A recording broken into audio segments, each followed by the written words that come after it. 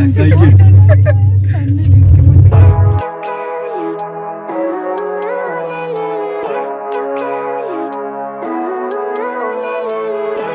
life, every day, late at night, not okay All I want, and I pray, all I need are some better days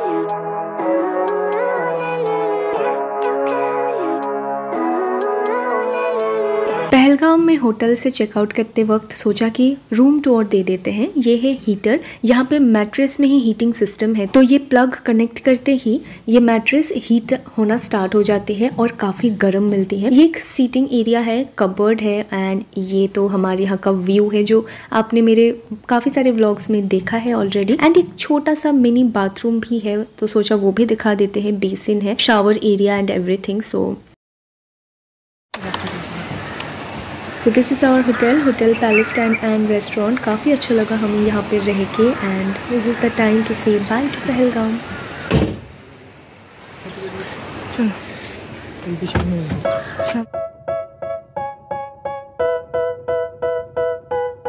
Kashmir में self service है, petrol खुद ही डलवाना पड़ता है तो हमारे driver भैया गाड़ी में पेट्रोल डाल रहे थे।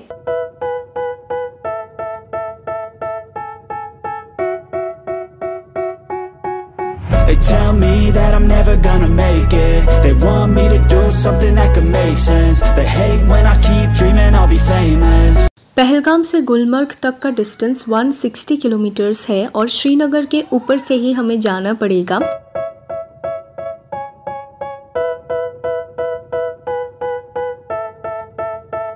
सामने जो पहाड़ दिख रहा है बर्फ़ की चादरों में लिपटी हुई वो है गुलमर्ग का पहाड़ वहीं पे हमें जाना है तंगमर्ग चेक पोस्ट से पहले हमें रुकना पड़ा क्योंकि ड्राइवर भैया ने कहा कि जैकेट्स एंड शूज़ हमें रेंट पे लेना ज़रूरी है। गुलमर्ग में बहुत ज़्यादा स्नो है और बहुत ज़्यादा ठंड भी है इसीलिए। सो so, इन भैया के दुकान पे हम आए यहाँ से हमने जैकेट लिया और शूज़ लिया लेकिन बहुत ज़्यादा बार्गनिंग करनी पड़ी और कश्मीर में जहाँ पे भी आप जाओ बार्गनिंग ज़रूर करना। कुछ कम कर दीजिएगा किसका? किसका? उसका चौदह रुपया है ड्रेस का। नहीं शूज़ का दो सौ रुपया और कोट का दो सौ रुपया। हाँ। वही मैं कह रहा हूँ ना। पर पर पर्सन चार सौ चार सौ रुपया तीन सौ दोनों मिलकर 600 हो जाएगा। सात सौ रुपया सात सात सौ सौ नहीं ना छः सौ रुपये। 600 कर दीजिए अभी सुबह सुबह आए हैं। हो जाएगा। जी भैया कर दीजिए बार्गनिंग के बाद छः सौ रुपये फाइनल हुआ जिसमें हमें मिले दोनों के ही शूज़ और दोनों के लिए जैकेट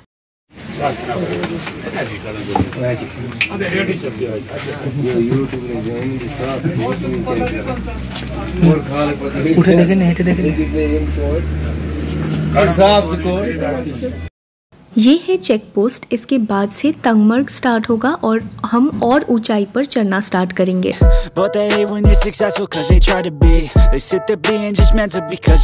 है। जनवरी फरवरी मार्च में पूरा बंद रहता है। बर्फ़ में। बर्फ़ में हाँ। और उसी गाड़ी को अलाउड होता है जो यहाँ की यूनियन गाड़ी है ना उन्हीं को अलाउड होता है ऊपर जाने का। और उसमें ना वो चेन वेन बांधना पड़ता है। और रास्ते में ड्राइवर भैया हमें बहुत सारे इन्फॉर्मेशन शेयर कर रहे थे। वहाँ से आपको एक किलोमीटर वॉक करके जाना पड़ेगा ठीक है? हाँ। और वहाँ पे ना बहुत से घोड़े वाले आएँगे। हाँ। ये साइड ये साइड ऐसे मना करना सबको ठीक है। एक किलोमीटर है। और जितना होगा ना वहाँ से उतना जल्दी करना है क्योंकि वहाँ पर ना फिर भीड़ ज़्यादा लगता है। लाइन में बैठना पड़ेगा।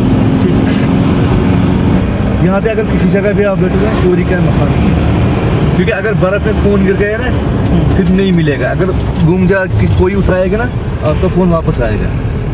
श्रीनगर से गुलमर्ग की डिस्टेंस ज़्यादा नहीं है, लेकिन एज़ आपको पता है कि हम पहलगाम से आ रहे थे, इसीलिए बहुत ज़्यादा टाइम लग गया और हमारा गंडोला फ़र्स्ट फ़ेज़ का बुक था 9 एम के स्लॉट में। हमने ऑलरेडी ऑनलाइन बुकिंग की थी, इसीलिए 9 बजे से पहले हमें एनी हाउ गुलमर्ग पहुँचना ही था। और ये आ गया सेकंड चेक पोस्ट कश्मीर में इस तरह के चेक पोस्ट बहुत ही ज़्यादा है और सिक्योरिटी भी काफ़ी टाइट है स्पेशली अभी जी ट्वेंटी का टाइम है, इसीलिए हम लोग पहलगाम से छः बजे निकले थे और गुलमर्ग पहुँचते पहुँचते नौ बज गए, लेकिन ट्रैफ़िक बिल्कुल भी नहीं मिली रास्ते में, इसीलिए इतनी जल्दी हम पहुँच गए।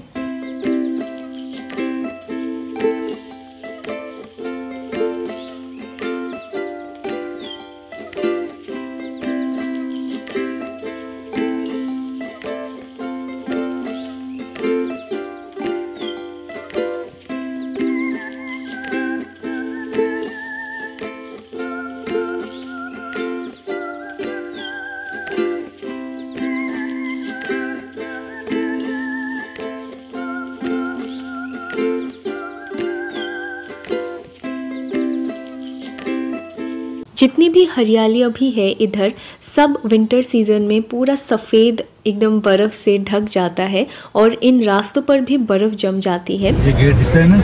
हाँ। इसी गेट से ओनली एग्जिट बोल था। हम लोग पहुँच गए ये पार्किंग साइट है और इस गेट से हमें अंदर जाना है और अंदर एक दो किलोमीटर की वॉक है उसके बाद हम गंडोला के जो एंट्रेंस पॉइंट है वहाँ पे पहुँचेंगे। वो जो सामने पहाड़ दिख रहा है हमें वहीं पे जाना है। तो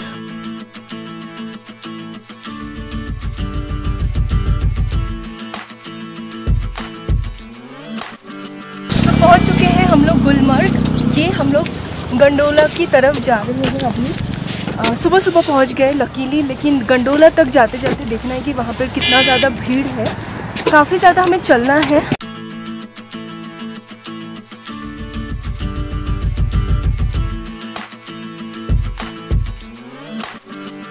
गंडोला वन के अंदर हम लोग आ गए हैं। यहाँ से टिकट शो करना है और अंदर जाना है। एंट्री पॉइंट से लेकर गंडोला तक काफ़ी ज़्यादा डिस्टेंस है और उसी रास्ते में पड़ता है बहुत सारे होटल्स जिनके रेट्स काफ़ी हाई होते हैं। गंडोला तक आने के लिए पोनी भी मिलती है, लेकिन हमने सोचा था हम पैदल जाएँगे। पता ही नहीं था कि इतना लंबा रास्ता है, हालत ख़राब हो गई चलते चलते लेकिन फाइनली ये है गंडोला का एंट्रेंस हम फाइनली एंट्रेंस तक पहुँच गए, लेकिन अंदर जाके देखा इतना लंबा लाइन है। वो भी इतनी सुबह सुबह हमने ऑनलाइन तीन महीने पहले गंडोला के टिकट्स बुक किए थे। तभी हमें टिकट्स मिले, लेकिन वहाँ पे ऑफलाइन टिकट खरीदने का कोई ऑप्शन नहीं है। इसीलिए आप ऑनलाइन ही टिकट बुक करके फिर वहाँ पे जाइएगा। ब्लैक में टिकट बेचते हैं, लेकिन वो काफ़ी महँगा पड़ेगा आपको और सिर्फ़ फ़ेज़ वन का मिलेगा। फ़ेज़ टू का ब्लैक में भी सेल नहीं होता।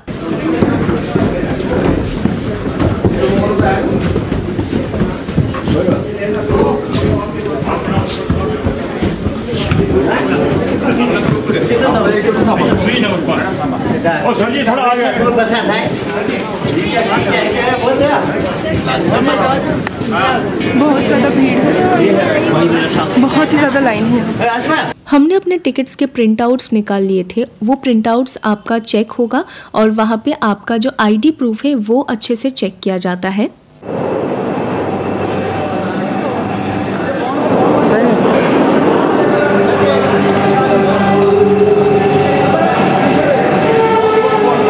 गुलमर्ग गंडोला एशिया का longest and highest gondola ride है और वर्ल्ड का second longest and highest gondola है। बहुत ही ज़्यादा टेंशन में थी बिकॉज़ मुझे हाइट से काफ़ी डर लगता है और ये देखिए, इस तरह से घूमते हुए ये आ रहा है। ये घूमता ही रहेगा, हमें उस वक्त झट से इसमें चढ़ना है।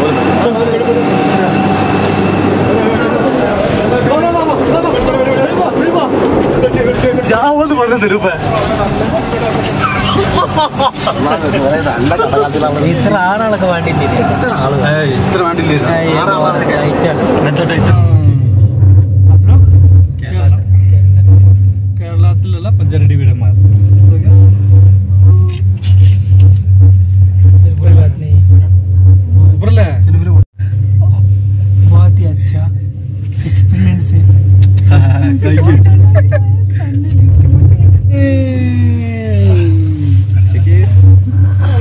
गंडोला मतलब केबल कार। केबल कार में दोनों साइड ही सिटिंग अरेंजमेंट है। उस साइड मैक्सिमम तीन लोग बैठ सकते हैं और इस साइड भी तीन लोग ताकि गंडोला बैलेंस हो जाए। मैं और सैम एक साइड बैठ गए थे और कुछ कैरलियंस आए थे तो वो तीन सामने बैठे और एक हमारे बाजू में ही बैठा था। वो सब तो बहुत ज़्यादा इंजॉय कर रहे थे और उनसे ही हमें मालूम पड़ा कि, कि उन लोगों ने पहले टिकट नहीं बुक किया था और यहाँ पे आके ब्लैक में उन्होंने फ़ेज़ वन का टिकट बुक किया लेकिन फ़ेज़ टू का ब्लैक में भी नहीं मिला उन्हें। इस गंडोला का हाइट काफ़ी ज़्यादा है और फ़ेज़ वन में अभी बर्फ़ नहीं है इसीलिए और भी ज़्यादा हाइट समझ आ रहा है और कुछ लोग तो पोनी से भी जा रहे थे फ़ेज़ वन और मुझे हाइट से बहुत ज़्यादा डर लगता है और इसीलिए मैं काफ़ी डरी हुई थी।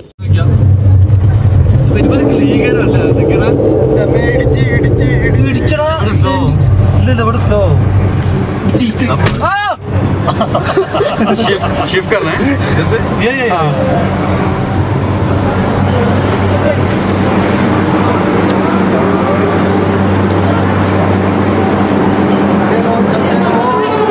सेकेंड पेज के लिए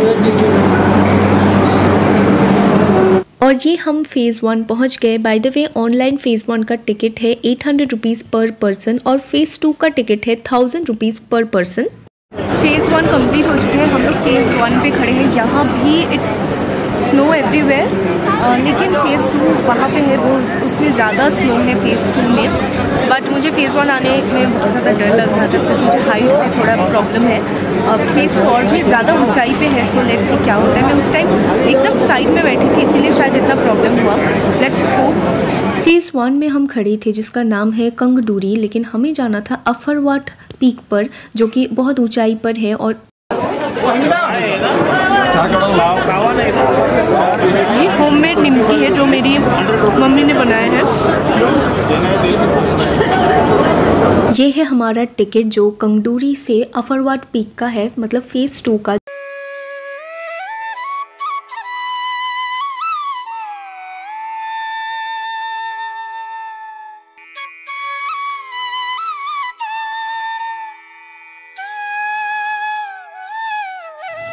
फ़ेज़ टू का गंडोला और भी ऊंचाई तक लेके जाएगा, इसीलिए धीरे धीरे ये लेके जा रहा है पैसेंजर्स को, इसलिए इतना टाइम लग रहा है और हम एक घंटे से ऊपर हो गए लाइन में खड़े हुए थे और फाइनली एक घंटा लाइन में लगने के बाद अभी हमारा टर्न फीलिंग नर्वस पहलगाम से गुलमर्ग तो पहुँच गए और अफरवाट पीक भी ऑलमोस्ट पहुँचने वाले हैं। लेकिन अफरवाट पीक पे जाके हमने क्या किया, वो नेक्स्ट व्लॉग में मैं शेयर करूँगी। So stay tune for next vlog do not forget to like share and subscribe to my channel thanks for watching bye